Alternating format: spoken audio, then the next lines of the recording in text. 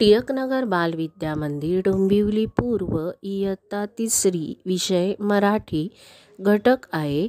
कविता एकोणीसावी Swiggy कवयित्री शैला लोहिया.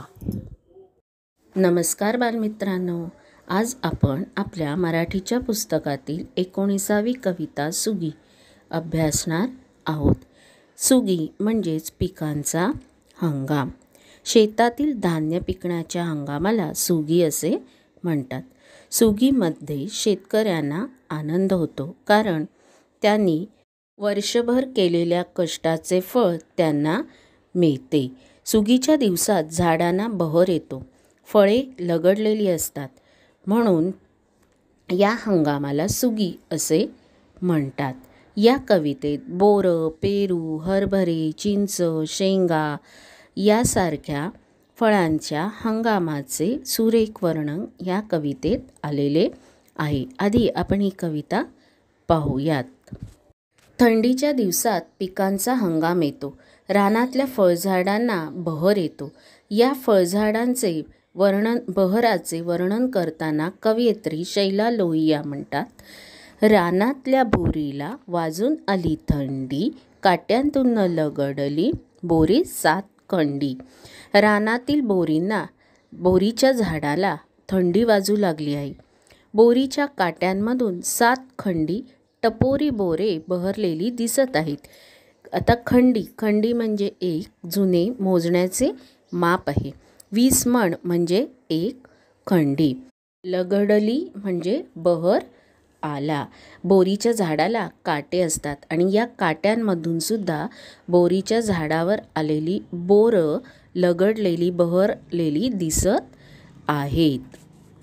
वळणावरचे झाड थरकापू लागले खट्टे मिठ्ठे पेरू जागोजाग लोंबले.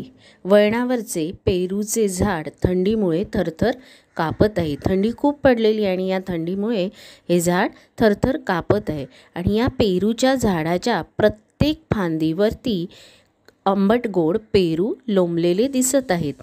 खट्टे मिठ्ठे म्हणजे आंबट गोड. मग या पेरूच्या झाडाच्या प्रत्येक फांदीवर आंबट गोड पेरू आलेले दिसत आहेत किंवा लोंबलेले दिसत आहेत.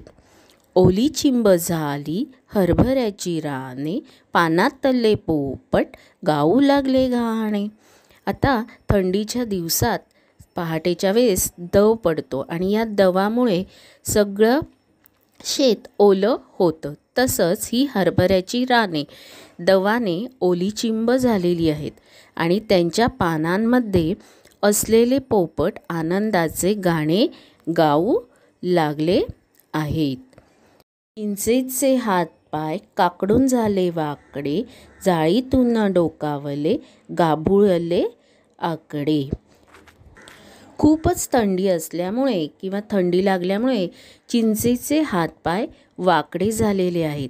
चिंचेच्या पानांमधून गाभुळलेल्या म्हणजेच पिकलेल्या चिंचेचे आकडे हळूच डोकावून बघत आहेत. थंडी आली पेटवा अगटी शेका हात गार शेकता शेकता तोंडात टाका ओल्या शेंगा. चार आकटी म्हणजे शेकोटी.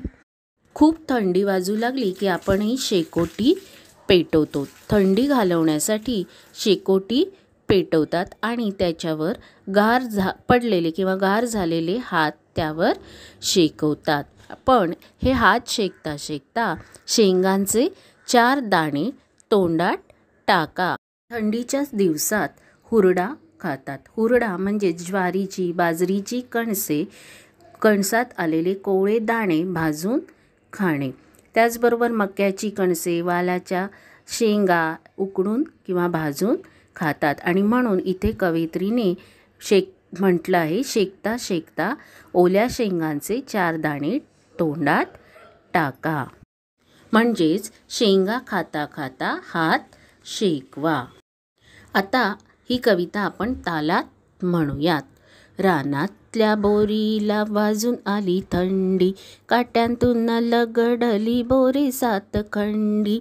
वळणावरचे झाड थर कापू लागले. खट्टे मिठे पेरू जागो जाग लोंबले. ओली चिंब झाली हरभऱ्याची राणे. पानांतले पोपट गाऊ लागले गाणे. चिंचेचे हात पाय काकडून झाले वाकडे. जाळीतून डोकावले गाभुळले आकडे. थंडी आली पेटवा आकटी शेका हात गार?